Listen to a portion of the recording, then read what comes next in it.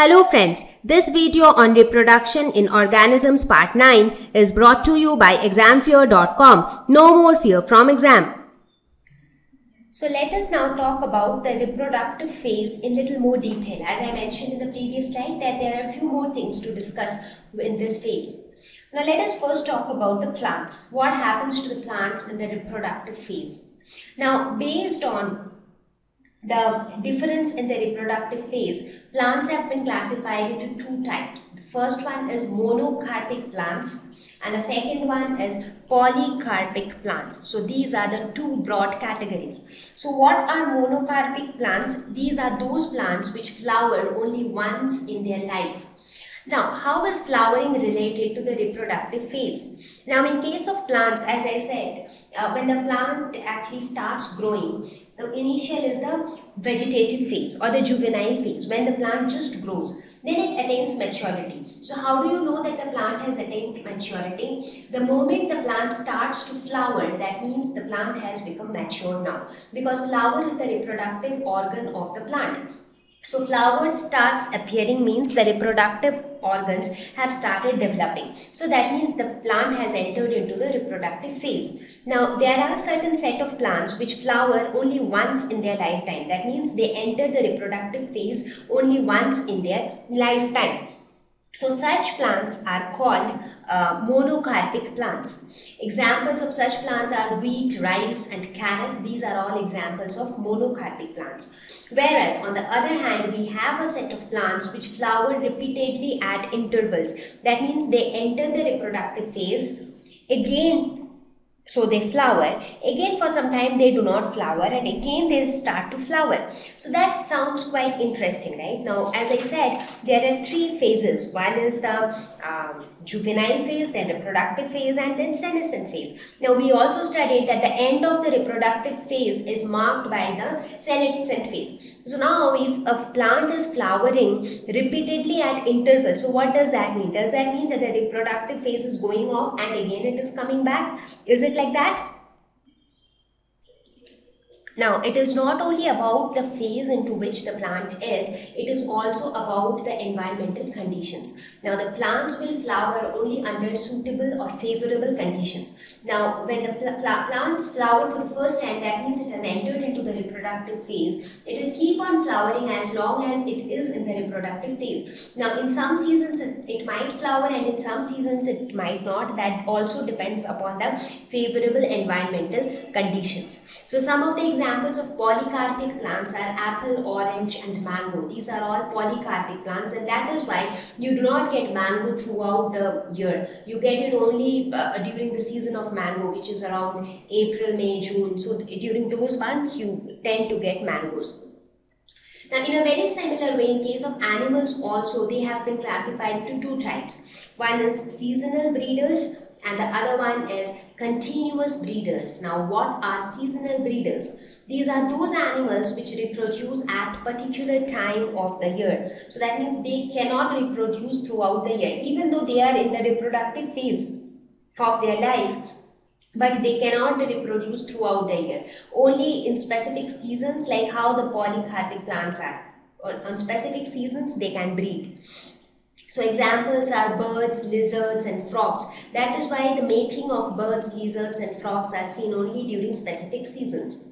Continuous breeders are those which can reproduce throughout their sexual maturity. So that means they can breed anytime they want throughout their reproductive phase of their life. Examples of continuous breeders are poultry, rabbit, cattle. They are all examples of continuous breeders.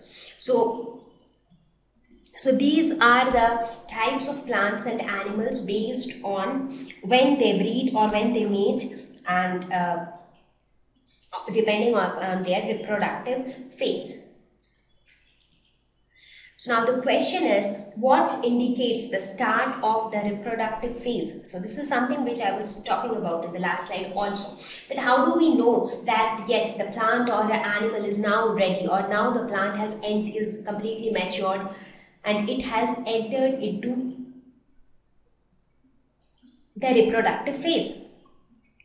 So in case of plants, appearance of flowers denote that it has entered into the reproductive phase because flowers are the reproductive organs of the plant. You remember the male reproductive organ, female reproductive part, everything is present inside the flower. We have already discussed this in our junior class. So flowers are the reproductive organs. So formation of cones now. This appearance of flowers is only applicable to the flowering plants. Now what about the non-flowering plants? Because we have a bunch of plants which do not flower at all. So does that mean that they'll never get matured? It is not like that. So those plants, for example, the gymnosperms, their cones are formed. The male and female cones are seen. So as soon as those cones are formed which can produce seeds, we say that the plants are matured. Whereas in case of animals, sex organs develop and mature, so all the reproductive parts of the animal tend to develop, which do not develop, any, develop initially when they are born development of secondary sexual characters in male and female. Let us talk about human beings. In human beings, you have a certain set of male and female sexual organs. But even other than that, you have some set certain secondary sexual characters also. For example, in case of male, their voice changes, voice tends to become more hoarse.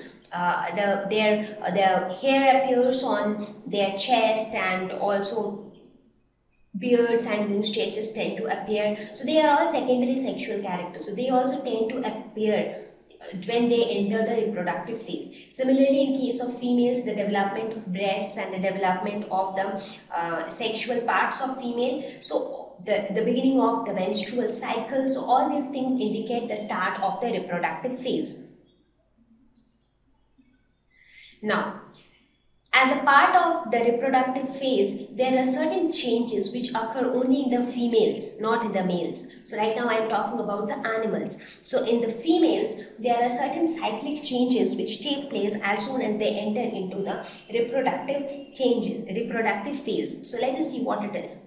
Now, following changes take place in mammals, especially the females.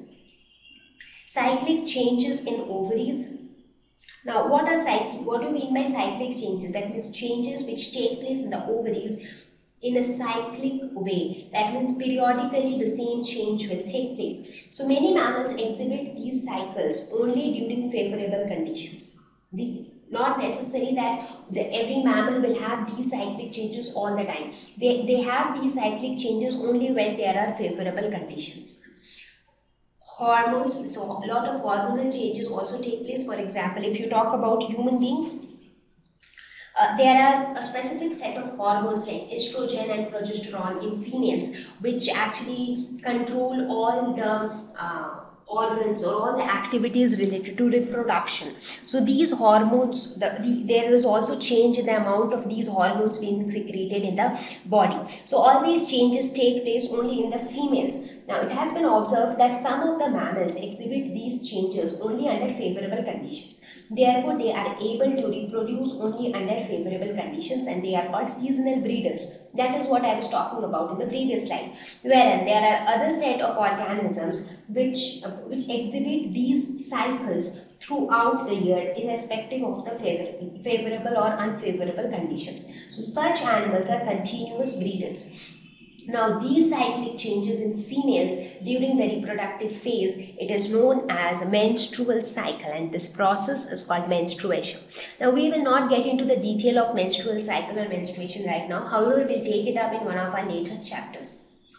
Now the same cycle has been given a different name in non-primates. And what is that name? It is called estrous cycle. So it is uh, related to the name estrogen, the hormone which I was talking about. So it is called estrous cycle in non-primates and it is called menstrual cycle in primates. So primates would include human beings, monkeys, so all those stuff and estrous, uh, estrous cycle would be there for other animals like cats, dogs, elephants, rabbits, etc. So this is something, this menstrual cycle or estrous cycle is something very specific to the females. This doesn't happen in case of males.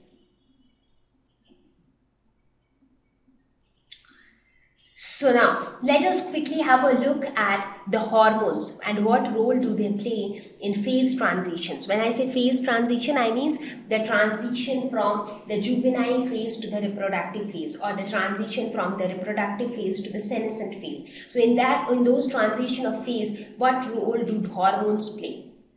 Hormones play a very important role in transition between the juvenile, reproductive and senescent phases. That is what I was just telling you. Now, the presence or absence of certain hormones can make a lot of difference inside our body. Let us take the example of human beings.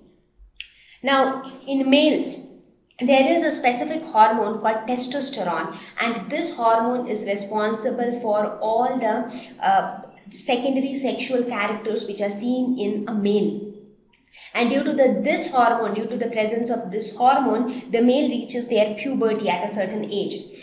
Like maybe around the age of say 13 to 15 years, a male reaches a, the puberty. Similarly, in case of females, you have a set of hormones called estrogen and progesterone. We spoke about all these hormones in class 11th, right? So in estrogen, it, it, takes care of all the secondary female characters and also the reproductive processes. And progesterone helps or supports the female body during pregnancy. So in case of a female, so if you see a female when it, she is born, this, she is so small and then she gradually grows up. So this is your juvenile phase and then suddenly she enters into the reproductive phase gradually. So as soon as the reproductive organs develop and she enters the puberty, she is said to enter the uh, reproductive age. And again when her reproductive age finishes off she enters into aging and she becomes old and then that is the last phase of her lifespan. So in all these these are some some of the hormones which play a very important role to make these changes inside the body so when you talk about puberty in human beings, it is the period during which the rate of general body growth slows down and reproductive tissues start maturing. So it is not about like from when you are a kid. So from a kid till you are some 12, 13 years old, till that time, there is tremendous growth in your body in terms of your height, in terms of your weight. You know, so all those things grow very rapidly. But as you reach that puberty, what happens? The general growth stops and the reproductive growth starts increasing. So the reproductive organs tend to mature in females the secondary characters like the breast development start taking place. In males appearance of beards mustaches start taking place. So all these changes start taking place. And this puberty is often known as adolescence. So when you are entering into adulthood from uh, your from the life of your kids. So a human male reaches puberty at around 13 to 14 years, whereas a female reaches the same around 11 to 13 years. So this is an approximate time frame when uh, a human being reaches puberty. So some of the changes observed during puberty in case of a male thick hair growth under armpits and the genital area. So you actually tend to see a lot of hair. Uh, facial hair, which is seen in the form of beard and mustaches. Change in voice, the voice becomes even more hoarse. Uh, occasional penis enlargement. Okay, so that is also seen there. In case of female, start of menstruation cycle. So every month the process of menstruation takes place when bleeding take when bleeding occurs through the vagina. Now why menstruation happens and all those stuff we'll take up later. Breast enlargement, hair growth under armpits and genital area. So again some of these changes indicate that the person is entering into the reproductive phase of their life. Thank you. Please visit www.examfear.com to watch more videos, attempt free online test, get free study material, find tutors and mentors. Thank you once again.